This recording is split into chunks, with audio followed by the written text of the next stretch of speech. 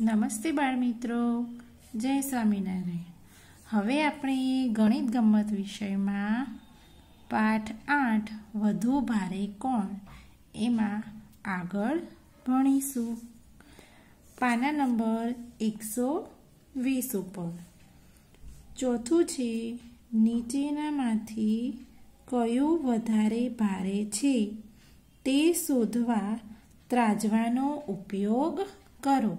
આપણને બે વસ્તુ આપી છે. એમાં કોણ ભારે છે ને કોનું વજન ઓછું છે એ આપણે શોધવાનું છે. એક નંબર છે પાણીની એક બોટલ, એટલે કે સીસી કે ક્રિકેટનો દડો.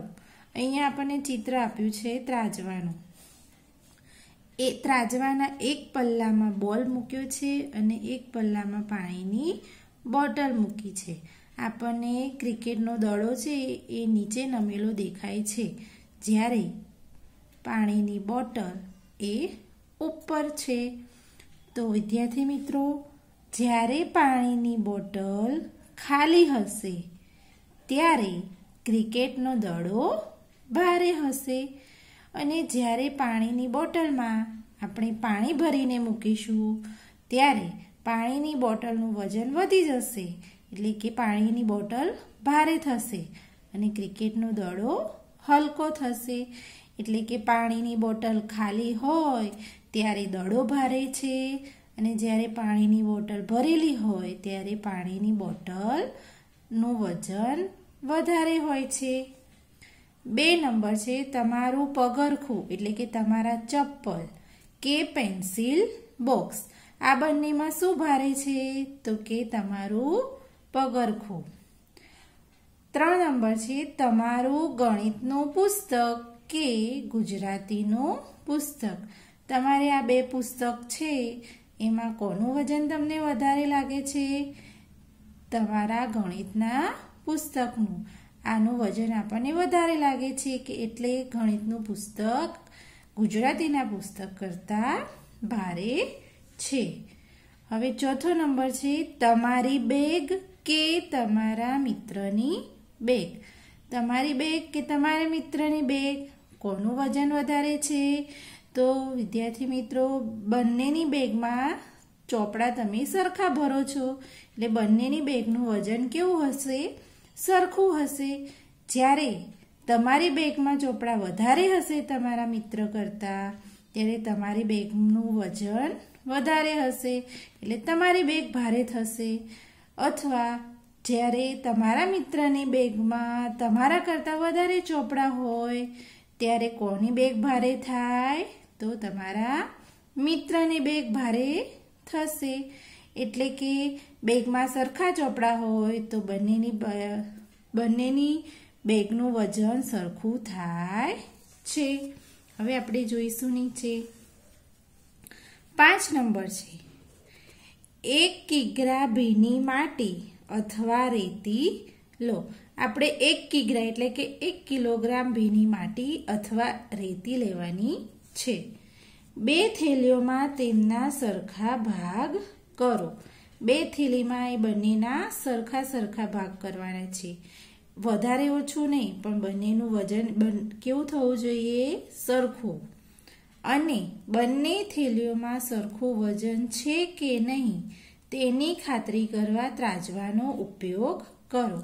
તો જો વિદ્યાર્થી મિત્રો, આપણને અહીંયા ચિત્ર આપ્યું છે, આ ત્રાજવું છે. એના બે પલ્લામાં માટીની થેલી ભરેલી છે. તો જો બંનેનું પલ્લું, બંને બાજુનું પલ્લા કેવા છે? સરખા છે. એટલે બંનેમાં વજન કેવું હશે? સરખું હશે. હવે નીચે જુઓ. ભીની માટીની દરેક થેલી એ તમારું અડધો કિગ્રા વજન છે.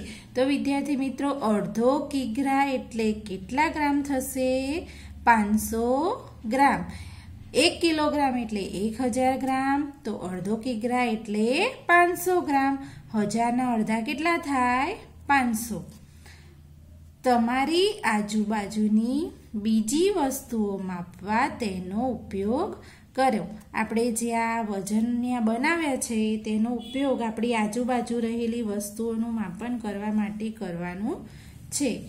યાદી તૈયાર કરો. એક નંબર છે અડધા કિગ્રાથી ઓછા વજનવાળી વસ્તુઓ. તો વિદ્યાર્થી મિત્રો, મેં તમને હમણાં જ કહ્યું કે અડધો કિલોગ્રામ એટલે કેટલા ગ્રામ થાય? પાંચસો ગ્રામ. આપણે અડધા કિગ્રાથી ઓછી વજનવાળી વસ્તુઓની યાદી તૈયાર કરીશું. તો જે આપણી પાસે છે, pencil, rubber, pen, mobile, compass, scale એટલે કે ફૂટપટ્ટી, થાળી, વાટકી, ચશ્મા, એ બધી વસ્તુઓનું વજન અડધા કિલોગ્રામ એટલે પાંચસો ગ્રામથી ઓછું હોય છે. બે નંબર છે કે અડધા કિગ્રાથી વધારે વજનવાળી વસ્તુઓ. એટલે કે પાંચસો ગ્રામથી વધારે વજનવાળી વસ્તુઓ કઈ કઈ હોય છે? તો કે છે દિવાલ ઘડિયાળ, પાણીની ભરેલી bottle, teapoy, school bag, boot.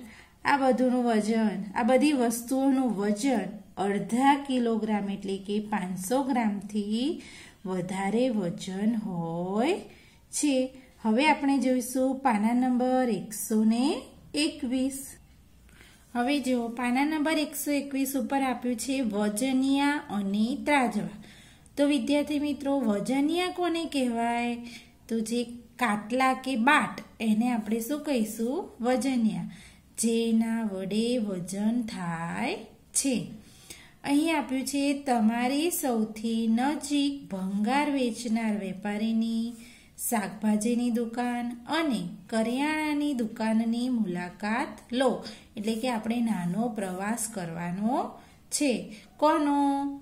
ભંગાર વેચનાર વેપારી, શાકભાજીની દુકાન અને કરિયાણાની દુકાન. તેઓ વાપરે છે તે વજન્ય તરફ ધ્યાન આપો અને શોધી કાઢો કે કોણ સૌથી મોટા વજનિયા વાપરે છે. આમાંથી કોણ સૌથી મોટા વજનિયા વાપરે છે?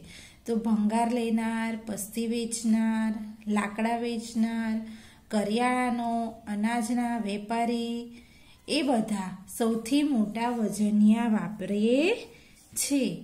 અને બે નંબર છે કે કોણ સૌથી નાના વજનિયા વાપરે છે? તો સોના ચાંદીના દાગીના વેચનાર, તેજાના વેચનાર એટલે કે મરી મસાલા સોનીના દુકાનમાં જોયું હશે, તમે નાના નાના નાના નાના વજન્ય હોય. છે.